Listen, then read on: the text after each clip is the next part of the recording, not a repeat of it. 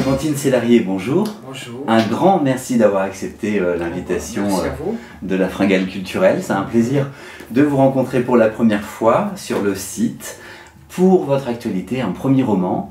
On s'aimera. Vous, vous aviez déjà écrit d'autres livres, mais vous n'étiez pas essayé au roman. Non, non, non. J'avais écrit aux éditions du Cherche Midi euh, Les Amoureux. C'était, comme disait Valérie Roy, qui était mon attachée de presse à ce moment-là, et c'était des, des, des instantanés de, de, de- de petites histoires d'amour comme ça, diverses, de diverses femmes, avec divers hommes. euh, et voilà, et j'avais envie d'écrire ça, et à ce moment-là, il y a trois ans, je crois. Et puis là, en fait, ça, ça fait, on s'aimera, ça fait euh, oh, six ans au moins, si c'est pas plus, ça fait une dizaine d'années que Oui. c'est quelque chose qui, était là, tatati, on l'attend, tout ça, et que et, là, euh, j'en ai parlé à Philippe Héraclès, donc le directeur du Cherche Midi, et je lui ai dit, écoute, j'ai une idée de roman, euh, euh, voilà, ça fait longtemps, euh, j'avais un scénario déjà, bah, car ce, ce, roman sera aussi, je pense, un film, mais pas tout de suite, hein, pour l'instant c'est un roman. Et donc ça fait des années que je travaille dessus, et enfin précisément sur le roman, ça fait trois ans, un truc comme ça, deux, trois ans, voilà. Oh, tout en menant des projets de front à côté, d'autres Oui. projets. Ah ouais, bien sûr, je veux pas qu'un seul truc, sans se plaindre. C'est- Alors c'est intéressant ce que vous venez de me dire, parce qu'on a le sentiment que vous avez besoin d'être sur plusieurs terrains, mais Oui. tout le temps. C'est comme s'il fallait euh, dégainer euh, face à, on va dire, une sorte de, de mouvement un peu bizarre que le monde prend, n'est-ce pas? Il faut euh, un peu sortir les, les armes qu'on peut sortir. C'est-à-dire, en fait, en l'occurrence, c'est pas des armes, c'est des armes d'amour, de de, euh, je sais pas, de, se battre pour des valeurs euh, auxquelles je crois, euh, voilà, humaines. Et de secrets, je pense qu'on a tous de trésors. Bon, et puis il y a des déviances euh, terribles et, et c'est vrai qu'il y a. Il faut qu'à un moment donné, ce qu'on, enfin, pour moi, j'ai besoin que ce que j'écris, ça ait un sens, si vous voulez, en toute humilité, euh, sur, ça parle de choses que j'ai envie de défendre, quoi, pour lesquelles je vis. Voilà. Alors justement, dans ce premier roman, On s'aimera, on sent que vous défendez, euh, même, même dans le pitch, on sent déjà les valeurs. C'est-à-dire qu'il s'agit d'une famille Mhm. euh, coupée de tout, parce qu'il y a une tempête de neige qui leur tombe dessus, Mm. et donc ils sont coincés, ils n'ont plus de connexion. Mhm. Et ça, ça vous plaît de les mettre justement dans un, dans un huis clos où euh, l'Internet, le Sans mobile... rien de matériel. voilà. Ce qui reste, c'est-à-dire que, ben, parce que pour moi, c'est ces personnes, euh, à cause justement de, de cette opulence euh, matérielle, car ce sont des gens qui ont plein d'argent et plein de machines comme ça, euh, les ordinateurs, les télés, les trucs. À cause de cette opulence matérielle, ils sont un peu comme morts, si vous voulez. Ils sont un peu comme, un peu comme des zombies. un peu comme tout froid. Vous voyez, parce que ça, c'est froid en fait. Bon, Mm. moi, je m'en sers pour le boulot. hein, et je, je suis très heureuse quand euh, j'en ai pas. Et Quand ça s'arrête. quand ça s'arrête et, que, et puis souvent je l'oublie, enfin je suis pas du tout, puis je suis pas connectée trop, tout ça. Bon bref, mais et donc ils sont froids. Et puis à un moment donné ils sont enfermés, mais enfermés par en fait une grosse, euh, voilà un truc qu'il faut pas trop dire, mais cette tempête de neige qui est violente au départ devient, euh, ça se complique sérieusement. Donc ils sont obligés de d'être les uns avec les autres quoi. C'est-à-dire euh, tiens j'ai ah ouais, un père, oui tiens j'ai une mère.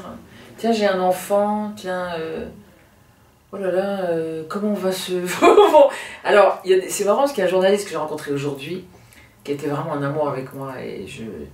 Et il, il me dit, mais ils sont monstrueux quand même, mais bon, on est devenus monstrueux, moi je pense. Hein. Enfin, je veux dire,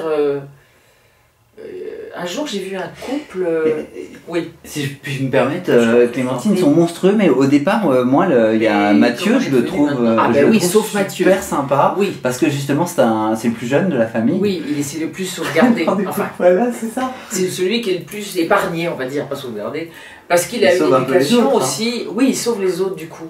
Ben, il est le moins atteint par euh, cette espèce de, de technologie euh, complètement dingue, et il est super euh, mimi, et, et parce qu'il est élevé aussi par Mirette, qui est euh, Voilà. africaine. qui a des valeurs évidemment bah, de, humaines, de base, quoi, de parler, de raconter des histoires. De...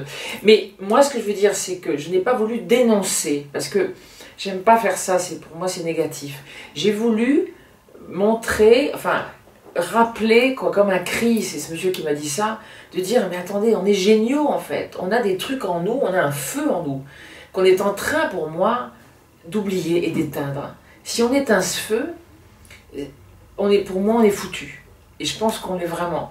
Mais alors, je voulais juste raconter ça, c'est que ces gens qui étaient froids, euh, parce qu'ils étaient envahis par ces choses matérielles et tout, ben, ils n'ont plus rien de matériel, mais ils ont leur feu qui va petit à petit renaître, leur humanité, se toucher, se... Alors c'est très intéressant, moi le thème j'ai trouvé très intéressant parce qu'en parlant de cette famille, la mère, le père, les trois enfants coincés, on s'identifie tous et on se pose des vraies questions sur notre époque. Justement, moi je suis le premier à être complètement accro au web. je travaille dessus, j'en ai, ah fait, ma vie professionnelle. Oui, mais c'est pire que ça. C'est-à-dire qu'à un moment donné, comme vous l'avez dit tout à l'heure, on nous donne les portables, on est, on est surconnecté et, euh, et puis on répond les week-ends et puis, et puis on fait n'importe quoi. Oui, et puis on pense que c'est obligé tout de suite de répondre. C'est un non, je sais et Pourtant, et pourtant, j'ai mon garde-fou, mon garde-fou puisque je, je, suis sur les livres quand même. Donc ah j'arrive, hein, justement avec votre livre, à prendre le temps de me poser et de lire. Est-ce que c'est aussi ça que vous voulez lancer comme message à, à ceux qui vous suivent, qui vous connaissent vous dans votre globalité, de les amener aussi par le livre pour qu'ils se posent un peu? Mais je pense qu'on on sera plus heureux si on apprend à, à à se, à se centrer, se pencher sur tout ce qu'on est et non pas tout ce qu'on a en fait. C'est que tout ce qu'on est, et eh ben, si tout d'un coup, effectivement, on lit.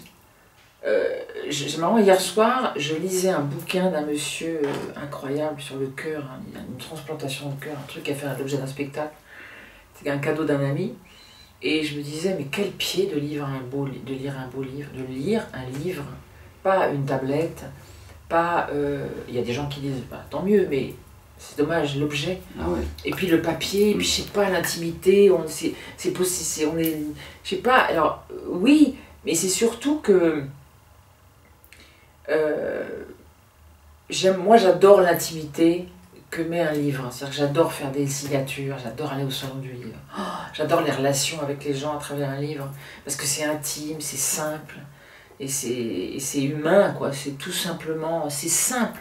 On peut lire, là j'ai un projet avec un ami euh, pianiste qui est non-voyant, qui est un super pianiste à Avignon. On va, on va faire une lecture de mon bouquin que je vais euh, rapisser sinon dans la Bien sûr, et, puis, et, et, lui il va me suivre, et, ça, ça, ça, ça m'excite, ça, je trouve ça, parce que c'est une aventure. Euh,